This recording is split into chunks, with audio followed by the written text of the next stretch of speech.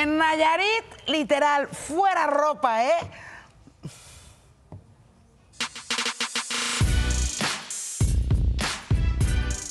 Por amor a los perritos callejeros, un grupo de jóvenes de del Río y Tepic Nayarit se quitan la camisa para recaudar fondos y demostrar que cuando se trata de ayudar y ser solidarios, cualquier iniciativa es bienvenida.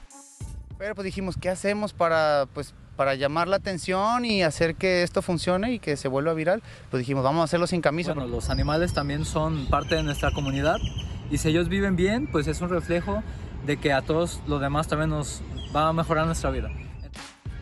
Las imágenes de los jóvenes que conforman el colectivo Wolvar se hicieron virales en redes sociales y la respuesta fue tan positiva por parte de la sociedad que quiere colaborar con esta causa en favor de los animales, que esperan reunir importante cantidad de dinero para el santuario de animales de Ixtán del Río.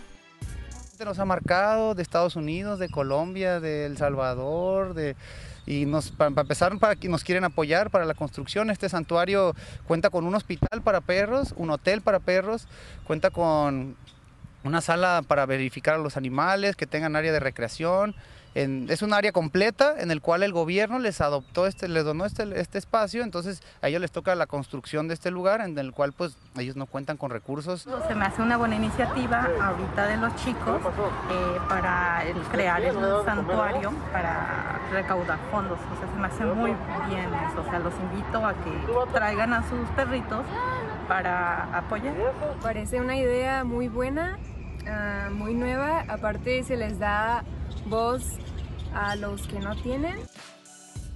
El grupo de jóvenes llevarán a cabo esta acción de pasear a los perros el próximo 4 de abril en el Parque La Loma de Tepic con una donación de 100 pesos a cambio de un paseo que les puede cambiar la vida a los perros callejeros. Para imagen, Carla Méndez. Ay, de veras, qué perros tan buenos. Adóptelos.